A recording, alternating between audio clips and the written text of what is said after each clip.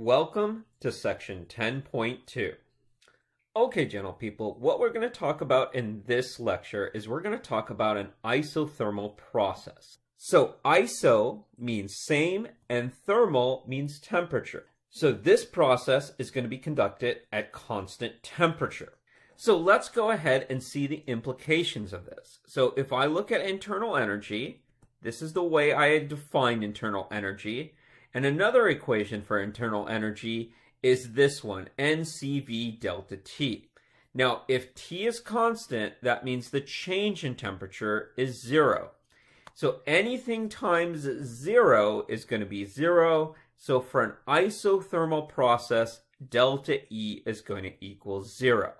Now, if delta E equals zero, well, that means Q plus W has to equal zero, and what this implies is that Q and W are equal in magnitude, but opposite in sign.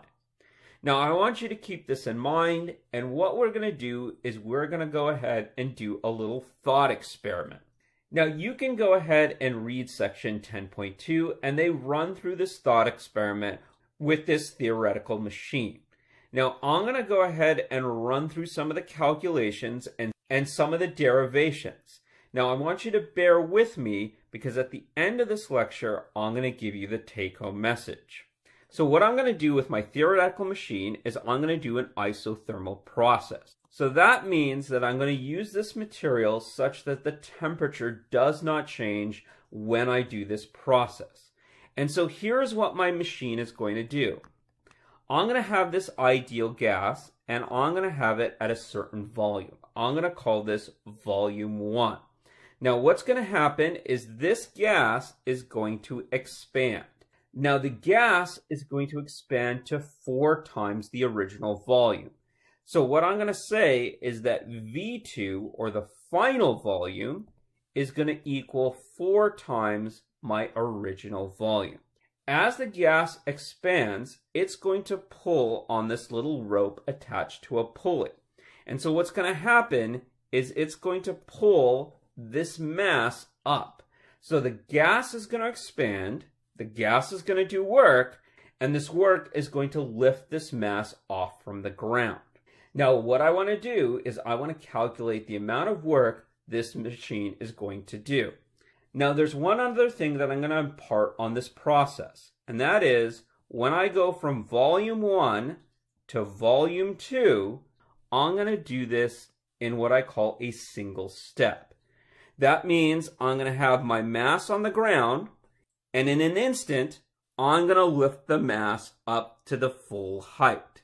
So it's not going to drag slowly. This is going to go boom to boom right there in one step that is instantaneous. So this is going to be the work for a one-step process. Now to calculate work, we're going to do negative P external delta V. Now what I'm going to say is that the external pressure is, go is going to be the final pressure that the gas comes to. So let's go ahead and calculate some things out. Now what I know from the ideal gas law is P1V1 is a constant, so it has to equal P2V2 because that's a constant. So let's go ahead and plug things in. So P1, V1. Now I'm going to try to solve for P2, my final pressure. I know my final volume is four times my initial volume because that's what I said the machine was going to do. It was going to expand to four times its volume. Now if I go ahead and solve for P2, the final pressure is going to be just a quarter of the initial pressure. So with all of this said, let's go ahead and calculate work. So I'm going to plug all these values into this equation. So work for a one-step process equals the external pressure, which I know is my final pressure, which is going to be P1 over 4. The change in volume is going to be is going to be 4 times my initial volume minus my initial volume. So if I were to calculate work here, this becomes negative 3 fourths P1 V1. So I'm going to write this on the slide. Work for a one-step process is going to equal negative 3 fourths P1 V1. So let's do this process slightly different. Okay, gentle people, what I'm going to do this time is I'm going to do this same expansion. So I'm going to have, so I'm going to do this same expansion, but I'm going to do this in two steps. So what I mean by that, I know to fully lift my mass, I have to expand four times my volume. But what I'm going to do is I'm going to go ahead and expand my volume to two times my volume and then after I expand it to two times my volume, I'm going to go the full expansion to four times my volume. So what I'm doing is I'm lifting this mass in two steps. I'm going halfway up in step one, and then I'm going the whole rest of the way in step two.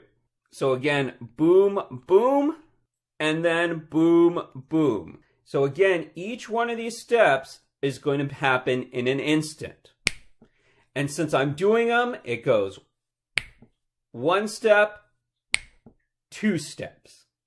So let's go ahead and calculate the amount of work that happens when I do a two-step process. So this is work as a two-step process, and work as a two-step process is going to equal the first step plus the second step. So let's go ahead and calculate each one of these steps out. So they all follow the same formula. So for the first step in my two-step process, it's going to be negative P external delta V. So my external pressure is going to be the final pressure that I come to in this step.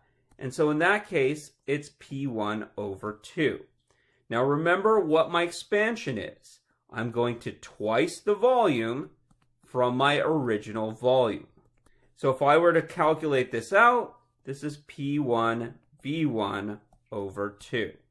Now let's go ahead and do the second step. So the second step in my two-step process, I still use the same formula. And if I want to look at the final pressure, well, since I expanded to four times the amount, it's P1 over 4. And so remember, my final volume is four times my original, but remember the second step is starting at two times that original volume. So if I go ahead and calculate this out, this becomes negative P1 V1 over 2. And now what we can do is we can add these two steps together. And what we get is negative P1 V1. So let's go ahead and write this down on our slide. So work for a two-step process is going to be negative P1 V1. Now what you guys will notice is by simply changing the number of steps, I calculate a different amount of work my machine can do. In the one-step process, I got negative 3 fourths P1 V1. And in the two-step process, I got negative P1 V1. Now, what you guys will see is that your book does it in six steps. So up on top right here is the two-step process, and this area represents the amount of work that my machine does. And so here's my first step, here's my second step. Now what your book did is it went ahead and calculated six steps. And this area is the amount of work that machine did. Now, if I want to compare the two-step area and the six-step area, we can take a look at this graph where the blue is the two-step and the six-step is that original purple. Now, what you guys will see is that the six-step process gets me even more work done by the machine. So what you guys will notice is I am increasing the amount of work the more steps I take. And so if I want to get the most work out of my machine, well, you guessed it. I have to take an infinite number of steps. Now, to get the area under the curve, we have to use some calculus. You guys can look at the derivation, but here is the equation that I'm going to give you on your info sheet. And that is, I can calculate the amount of work that is done in an infinite number of steps. Now, to denote it's an infinite number of steps, we're going to call this work reversible. So that's going to be work with REV subscripted. Now I'll talk to you guys about what reversible means, but here's the equation. Work reversible equals negative nRT, where n is the number of moles, r is our gas constant, t is our temperature, and I'm going to take the natural log of the final volume over the initial volume. Now what you guys will remember is before we talked about this theoretical machine, I told you guys that for an isothermal process, Q equals negative W. So what I can do is I can calculate the reversible heat. And that's just going to be the negative of that equation that I boxed. Now, I'm not going to spend time going through this derivation. You, you guys can look it up in your book. But the next thing your book does is it goes ahead and calculates the reverse process. And what I mean by that is I'm going to go ahead and recharge my machine. And by recharging my machine, what I mean is, is once the machine has fully lifted the mass by expanding to four times its volume, well, I can go ahead and reset my machine. I can go ahead and compress my gas again, meaning the mass is going to go down instead of being lifted up, and then I can start the whole process over again. So in this case, I'm doing a compression where I start at four times my original volume and I go back to my original volume. And they do this for a one-step compression. They do this for a two-step compression. But what I want to get to is the take-home message. So here is the take-home message of 10.2. So what we have listed in this table is the calculations for doing a process. So the first is the expansion. And remember what the expansion is doing. This is the machine doing work. And what I mean by that is it is going to go ahead and lift up that little mass.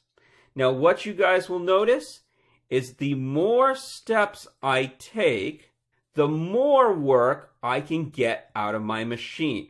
And so the maximum amount of work I can get out of my machine is an infinite number of steps.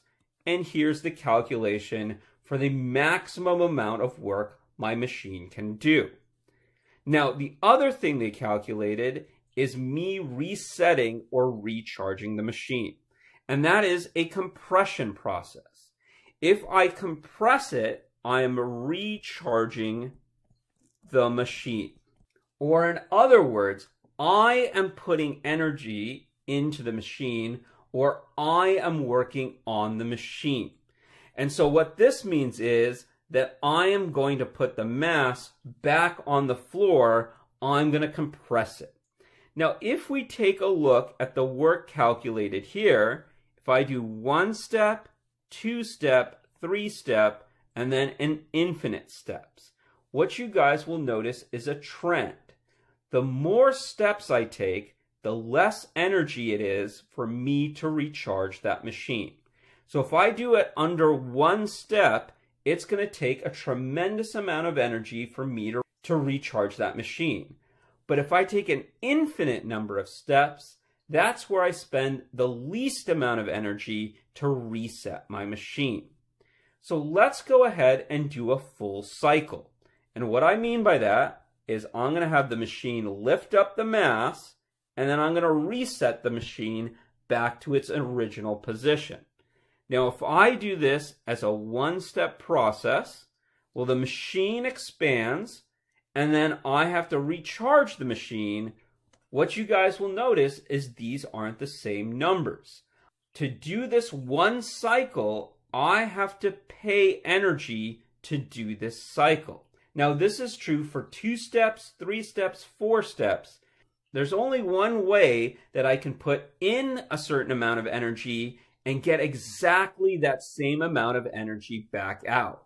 And that is if I do an infinite number of steps to recharge my machine and have my machine take an infinite number of steps to do work.